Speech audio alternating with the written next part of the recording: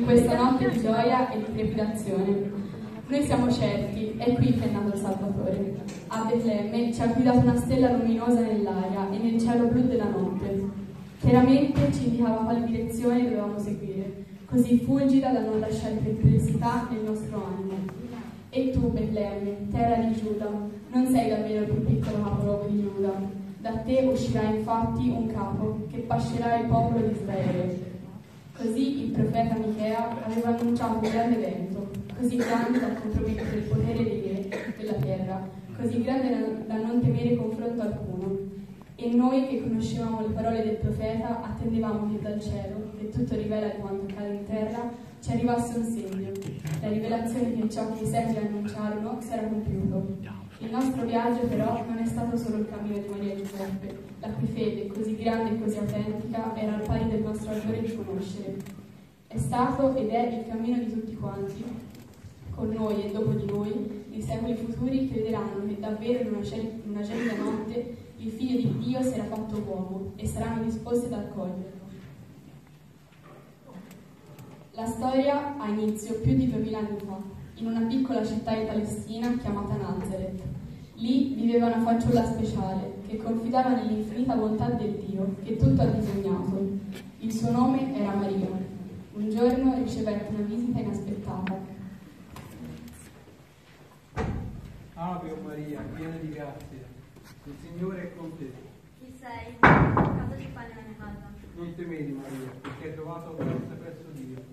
Ecco, conceperai un figlio, lo darai alla luce e lo chiamerai Gesù. Sarà grande verrà chiamato figlio dell'Altissimo. Il Signore Dio gli darà il trono di, di- di suo padre Davide e regnerà per sempre la casa di Giacobbe. Il suo regno non avrà fine. Ma come? Io non conosco nessun uomo. Lo Spirito Santo scenderà su di te, su te stenderà la sua ombra. Lui nascerà come sarà santo e sarà chiamato figlio di Dio. Di Dio. Vedi, anche Elisabetta, tua parente, la sua vecchiaia, ha concepito un figlio. E questo è il sesto mese per lei, che tutti dicevano sterile. Nulla è impossibile a Dio. Eccomi, sono la serva del Signore. Avvenga di me quello che hai detto.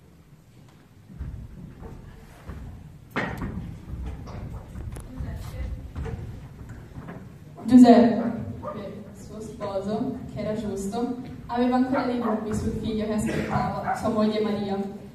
Mentre però stava pensando a queste cose, ecco che gli apparve in sogno un angelo del Signore. Giuseppe. Giuseppe. Chi sei? Sono l'angelo del Signore. Che cosa devo fare? Mia moglie Maria dice di essere incinta del figlio di Dio. Giuseppe, figlio di Davide, non temere di prendere con te Maria tua sposa. Ella partirà un figlio, lo chiamerete Gesù. Egli salverà il vostro popolo dai suoi peccati. Se fate dice il Signore. Prenderò di lui. In quell'anno Cesare Augusto aveva ordinato che si facesse il censimento di tutta la popolazione dell'impero. Ogni uomo, con la sua famiglia, doveva recarsi nella sua città d'origine per registrare, per registrare il suo nome e la sua casa. Così anche Giuseppe dovette partire per Betlemme.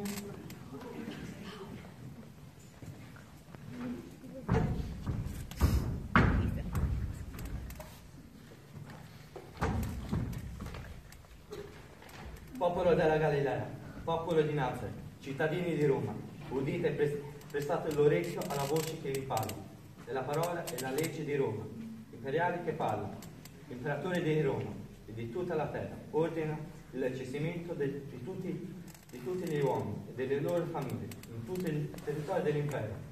Ogni uomo libero, a partire da domani e fino al prossimo solstizio d'inverno, ogni ca- capofamiglia, ogni lavoratore o beneficiario, ogni responsabile, ogni artigiano, fabbro e contadino avranno l'obbligo di recarsi con la sua famiglia nella sua città di origine per registrare il proprio nome e la propria casa. L'ordine di Cesare Augusto, re ed imperatore di Roma e di tutta la terra conosciuta e è valido da oggi. Vi vedo stanchi, avete fatto molta strada, da dove venite? Veniamo da Nazareth, abbiamo fatto circa 180 km per venire qua a Betlemme. E come mai siete qui a Bet- a Betlemme? Siamo venuti per il censimento per- perché è stato deciso, come sta- stabilito dal profeta, che Gesù, mio figlio, deve nascere proprio qua. Vi auguro buona fortuna.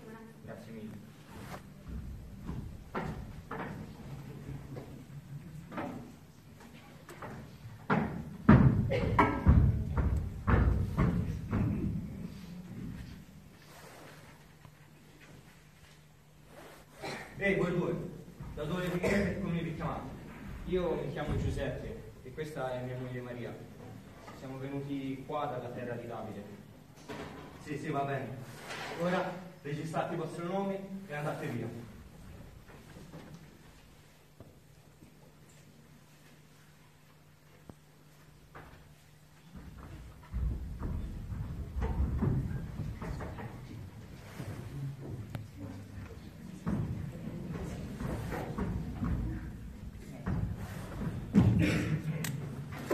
C'era poi una luce che si espandeva sulla strada ed alcuni rumori che, inde- che indistinti lambivano le strade. Provenivano da un laboratorio che custodiva le attività di tutti coloro che abitavano nei dintorni. Quante mani!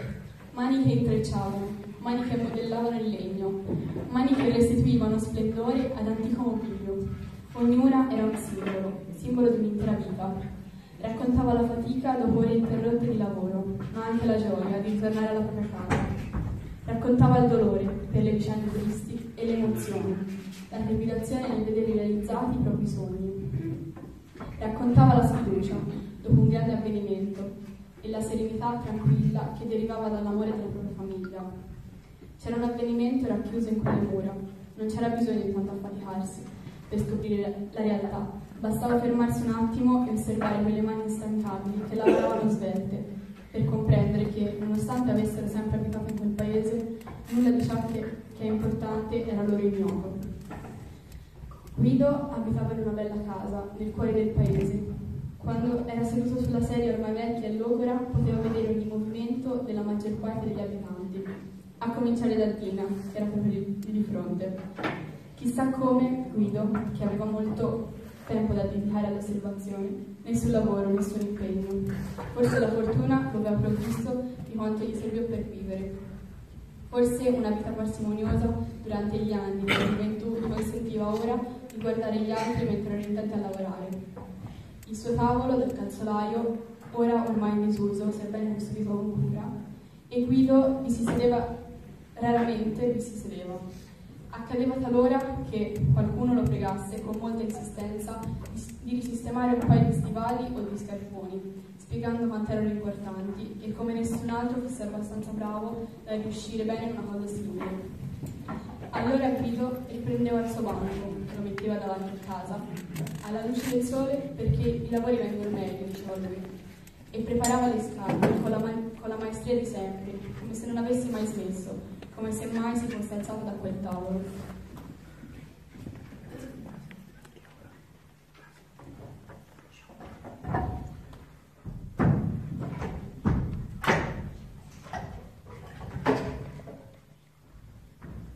Davanti a un grande fuoco stavano molte donne, avvolte nei mantelli. Erano con loro alcune bambine. Le più, picche- le più piccole giocavano allegre, le altre osservavano con attenzione le mamme e le nonne per, per capire i segreti del lavoro che stavano svolgendo.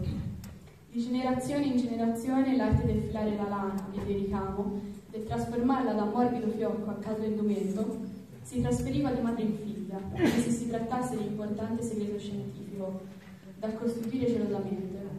E sempre quest'arte era affinata e migliorata grazie alle idee che nascevano davanti a quel fuoco e che tutte discutevano insieme per assaggiarne la validità. Mi potreste aiutare con questo passaggio perché non mi riesce proprio. Certo cara, allora prendilo così, lo tiri bene, lo tiri un pochino e poi... Scusi signora, sono Giuseppe, vengo da Nazareth, dalla in Galilea e siamo venuti qui a Betlemme per il censimento, ma ormai si è fatta notte e mia moglie Maria ha molto freddo. Non è che per caso ha una coperta per coprirla? Cosa cerchi, straniero? Siamo occupati, non troverai carità da noi. Non vadi a lei straniero, a volte un po' scontrosa, ma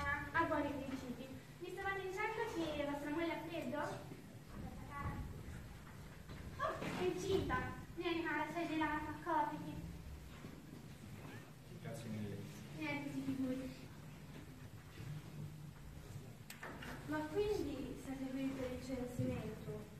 Ma come farete? Vostra moglie è incinta, lontano da casa.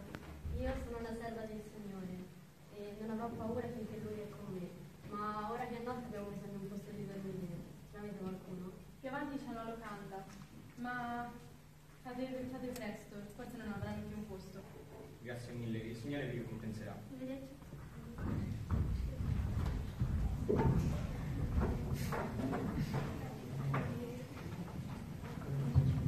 Dal forno dipendeva in larga misura l'esistenza degli abitanti del paese, unico e a disposizione di tutti.